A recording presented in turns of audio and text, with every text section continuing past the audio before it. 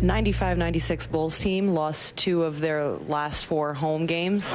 Um, do you see similarities in what's happening here or why it's happening, or is it completely different for each team? No, it's very very similar actually. Um, you know, it's uh, you got so much media attention and everybody talking about breaking the record and all that stuff, and then you you kind of lose focus a little bit. So, yeah, the same thing happened 20 years ago. We didn't play very well down the stretch. You know, even the game that we broke the record, we played very poorly.